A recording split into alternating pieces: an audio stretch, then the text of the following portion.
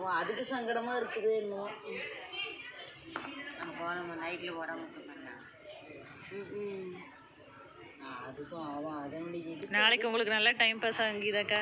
ஏன்? பாப்பாச்சிக்கா வந்து பாப்பாச்சிக்கா வந்து எல்லாத்தையும் சொல்லுண்டேன். ஏன்? வர இந்த இடத்துல என்ன பண்ணணும்